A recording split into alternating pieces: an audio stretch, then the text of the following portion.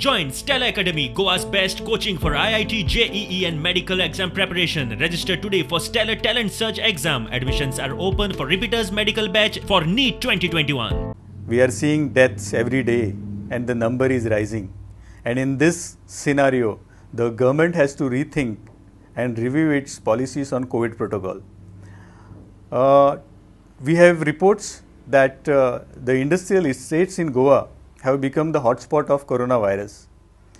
Many industries and factories, when we say many, we are not saying all, are violating the COVID protocols and government guidelines. Social distancing is not maintained. There is a mass gathering in canteens, mass gathering of people in the toilets, changing rooms, washrooms, and uh, this becomes the the this this helps the virus to spread. And when worker spread the virus he goes back to the community he goes back to the family and it is a matter of concern. The government should seriously deal with this. A government should form uh, uh, constitute a high level committee and carry out inspection of all the factories and industries who are violators and take firm action on them.